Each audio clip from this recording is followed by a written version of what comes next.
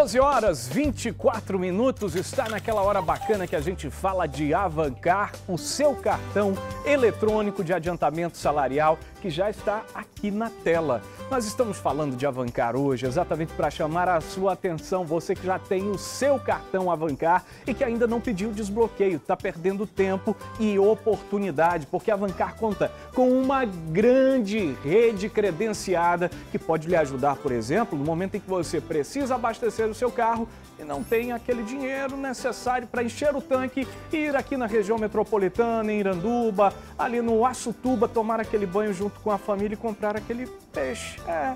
Quer abastecer o carro? Abasteça com a Avancar, porque a, a rede credenciada para abastecimento, Marcela Asmar, esta só cresce, mas só vai poder abastecer quem desbloquear. E para desbloquear tem que ligar no 0800. E Amaral, olha só, o 0800 046 4620 são 20% do seu salário antecipados todos os meses. E sabe o que é mais legal do Avancar? É que além de você colocar a gasolina no carro para poder ir lá em Açutuba curtir, antes você pode passar no mercadinho e comprar aqueles salgadinhos para poder fazer o caminho aí, conversando, se divertindo e dando uma antecipada no apetite, viu, Amaral? Ou seja, a Marcela Asmar está dizendo para você que ela faz isso, meu Só amor. faço, meu Quando ela pega a estrada, antes ela Tem que usa... ter uma guloseima. É, Márcia, mas você é muito esperta. E para ser esperto, que nem a Márcia Lasmar, meu amigo, não perca tempo. Entre em contato com o 0800 046 4620, fale com a atendente da Prover Cartões e diga assim, eu já tenho o meu Avancar, quero desbloquear e ter acesso a essa grande rede credenciada que o Amaral e que a Márcia estão falando para mim. É simples assim. E se você é comerciante, quer também ter a maquininha do Avancar aí no seu comércio, no seu estabelecimento comercial, seja posto de gasolina, mercadinho, casa de carne ou farmácia, é simples demais. O telefone está aqui na tela, aliás, é o que mais tem a telefone. Mas ligue diretamente para o 3090 4829, fale com a equipe da Prover Cartões e peça a maquininha que mais é requerida aqui no estado. Nós estamos falando da maquininha do Avancar. Com ele, você só tem a ganhar. 12 horas e 26 minutos. Você que está do outro lado acompanhando o programa da comunidade, vamos lá, vamos falar de incêndio, gente. A gente sabe que Manaus está vivendo um período atípico, com pouca chuva, e essa escassez de chuva tem trazido aí, tem incentivado e aumentado um pouco mais aí os focos de incêndio. E isso tem preocupado e muito o Estado. Foram mais de 500 incêndios, 500 focos de incêndios registrados só em janeiro. E é isso que a gente vai ver agora. Coloca na tela. Essas imagens foram feitas por brigadistas de Novairão. As chamas avançam floresta dentro. O incêndio no Parque Nacional do Jaú já dura mais de 20 dias. Novairão, Barcelos e Presidente Figueiredo são os municípios que mais preocupam. Nessas áreas, os registros de focos de incêndio aumentaram em janeiro. Nós temos mais de 14 áreas que com focos de incêndio e com equipes atuando, principalmente eh, brigadistas da, da, da região.